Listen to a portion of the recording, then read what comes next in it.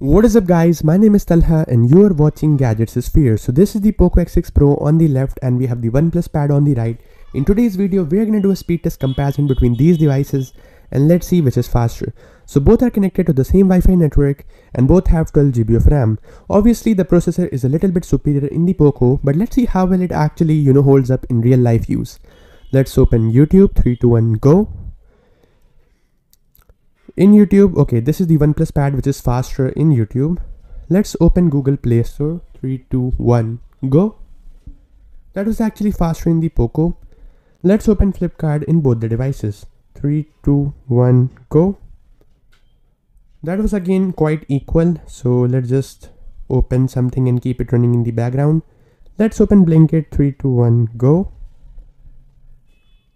I think yeah, nah, the you know the OnePlus Pad is a bit faster in Blinkit as compared to the Poco phone. Let's open Noon. This is a very popular app. Three, two, one, go. Okay, this is a little bit faster in the OnePlus Pad as compared to the Poco, but you will see that the scrolling is a little bit you know laggy in the OnePlus as compared to the Poco. The Poco is extremely smooth, whereas this isn't that smooth. It takes you know a bit of hiccups, whereas this is extremely smooth. Let's just close it. Let's open calendar in both the devices. 3, 2, 1, go. Okay, that was again faster in the OnePlus as compared to the Poco. Let's open, uh, okay, let's just open calculator in both the devices. 3, 2, 1, go. That was faster in the OnePlus as compared to the Poco. Let's open, you know, let's just open one more app which is uh, Spotify in both the devices. So we have 3, 2, 1, go. Okay, this was definitely faster in the Poco as compared to the OnePlus. Let's open Disney in both the devices. So three, two, one, and go. Let's see which one opens Disney faster. Okay, I guess this was uh, at the same time, I would say. Okay, now let's just open Netflix in three, two, one, and go. Let's see which is faster in Netflix.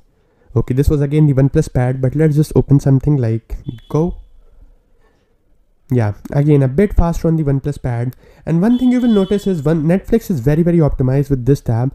So a netflix will little bit you know lag in the poco whereas in this oneplus it is very optimized. Extremely super duper smooth. I love it. So yeah it's nice to see netflix optimized for this device. Let's just open something else and see how well the performance is. So like weather app in both the devices three two one and go that is faster in the Poco. And as you guys can see, the weather app I kind of like uh, of the OnePlus a bit because it looks very much like iOS devices. Whereas the Poco is also very much refined and it also looks amazing. Like we have this cool animation. It looks awesome.